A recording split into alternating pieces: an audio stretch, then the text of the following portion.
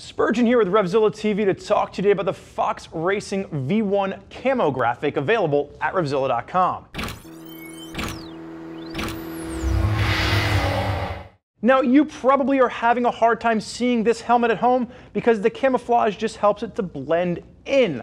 So what you're gonna see here on the table is the V1. If you look closely, you can kind of make it out on the background. The V1 is the entry level dirt helmet from Fox Racing.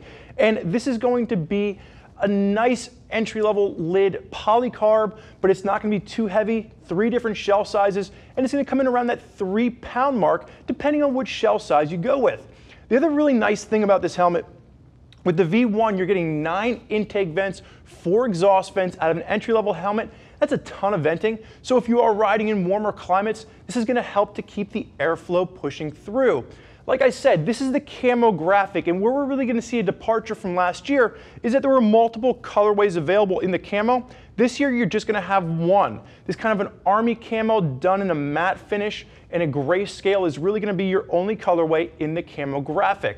The other main change that we've seen with the V1 from the previous model is they've gone to an ECE rating. They've gone away from Snell, incorporated ECE, DOT, and that's really what you're gonna see throughout Fox's new 2015-16 lineup.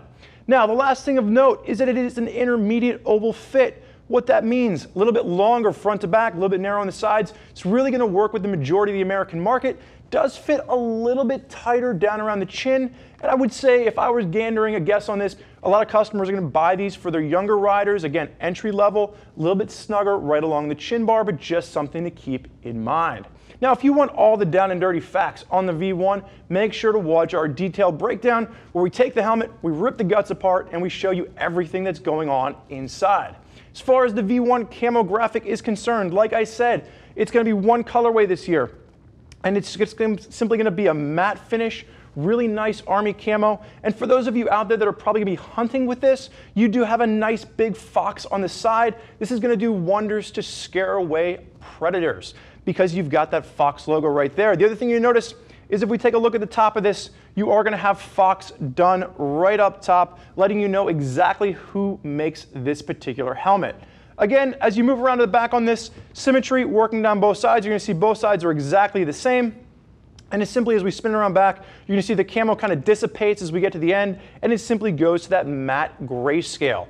So again, if you're looking for a camo helmet, you wanna be out there, perhaps you're using this for hunting, maybe you're just an army-inspired individual and you wanna have that camo graphic, this is going to be one to consider. There's a lot of folks out there rocking the Fox V1. If you wanna hear more about what they have to say, click the info button. Read what other riders are digging about the Fox V1s they're rocking on their rides. If you have more questions for us, never hesitate. Get us on the phone, give us a call, 877 792 9455, or simply type us at an email, cs at revzilla.com.